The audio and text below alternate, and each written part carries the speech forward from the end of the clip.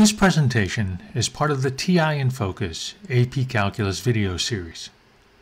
In this video, I'll discuss the solutions, relevant concepts, and scoring guidelines associated with some of the parts of our 2020 mock AP Calculus exam, Form AB Question 1.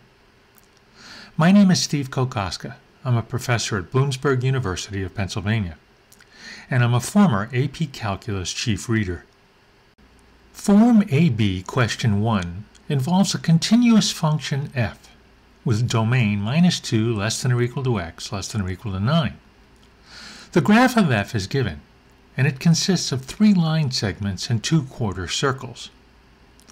A new function g is defined as g of x is the definite integral from 0 to x of f of t dt for minus 2 less than or equal to x less than or equal to 9.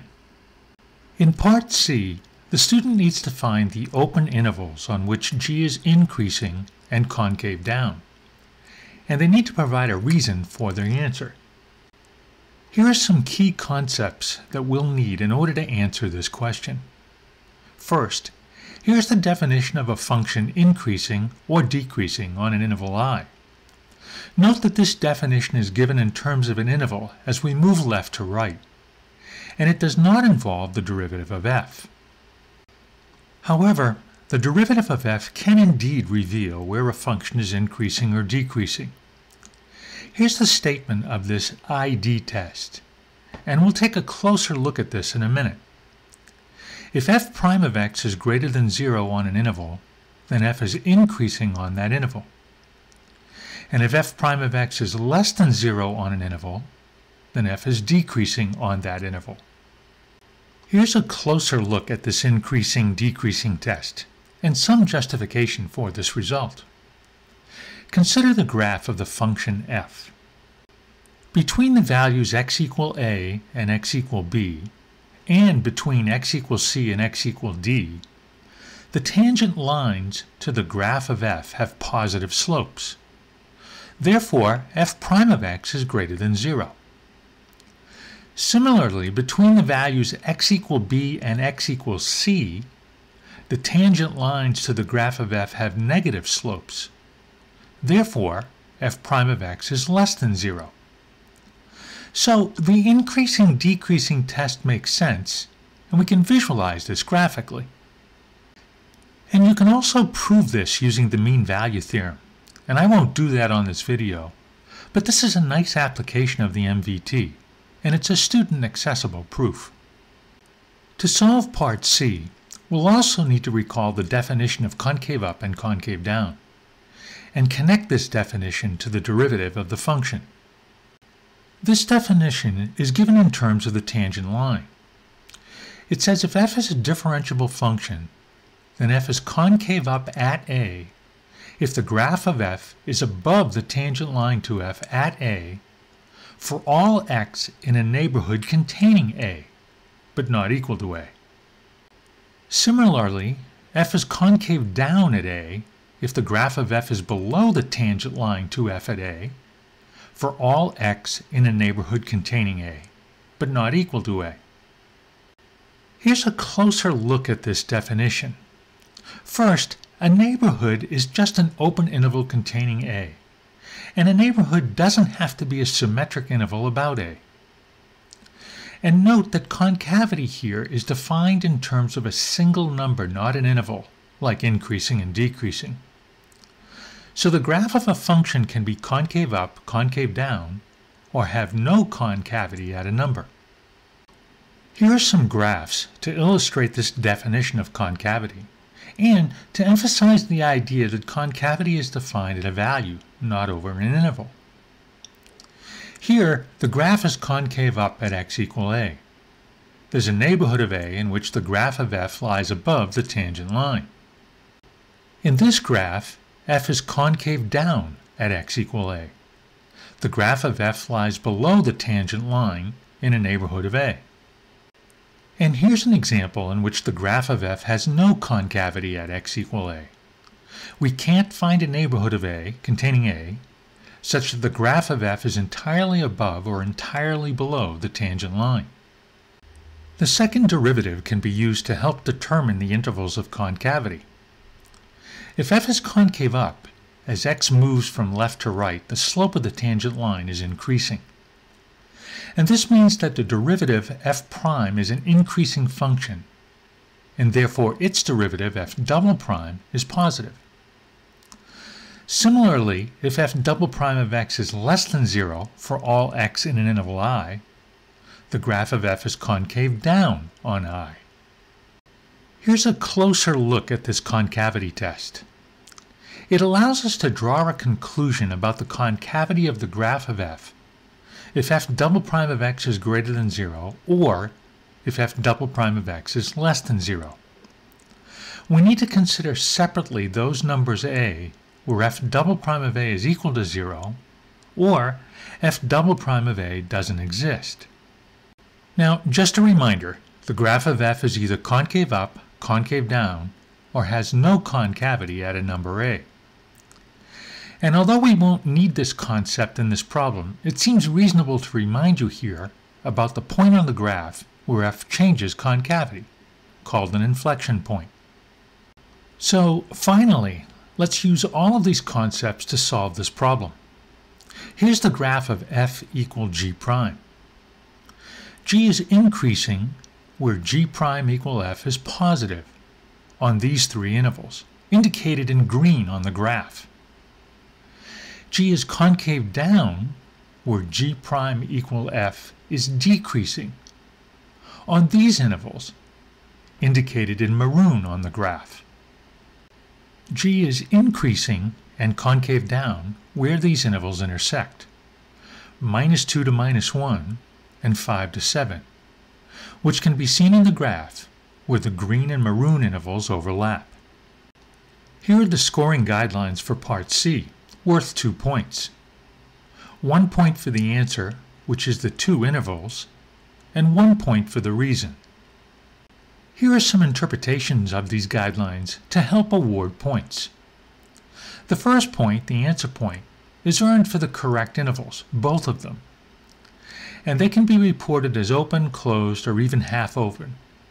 We won't worry about the endpoints, at least not in this problem. And there is an eligibility criteria here for the second point. The student must earn the first point to be eligible for the second. Now, there is sort of an exception here.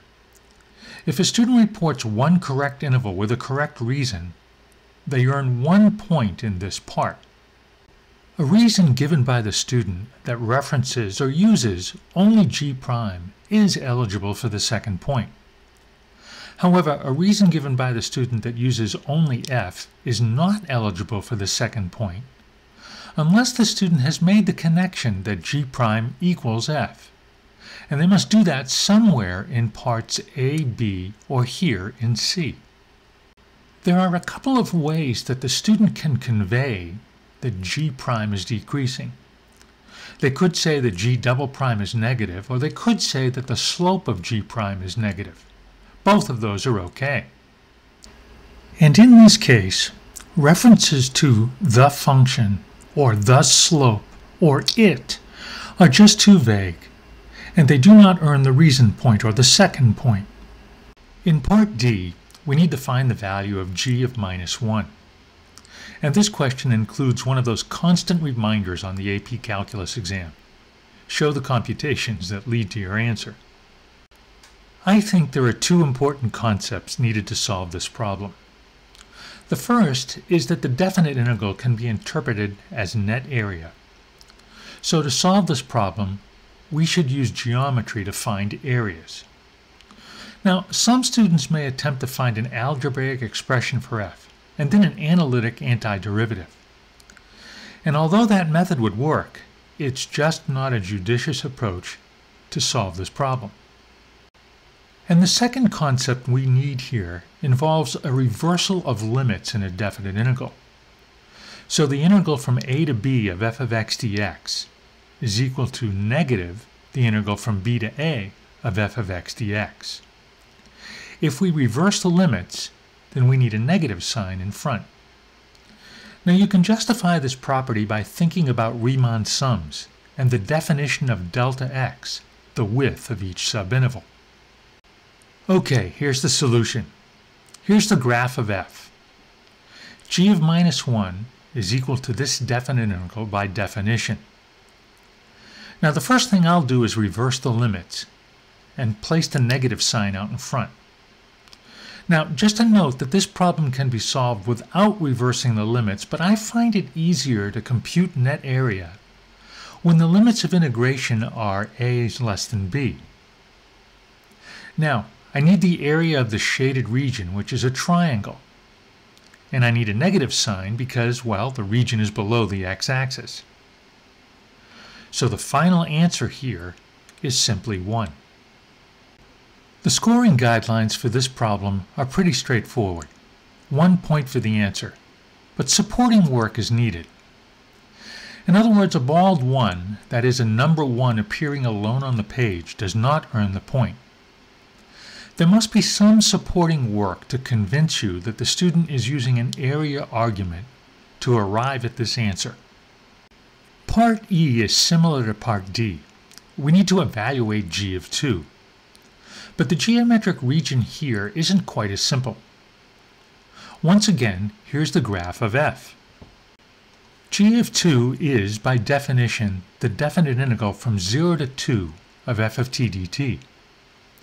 This definite integral represents the net area of the shaded region. Note that this is entirely below the x-axis, so the answer has to be negative. Now, this isn't a very nice geometric region, it's not like a rectangle or a triangle or even a trapezoid.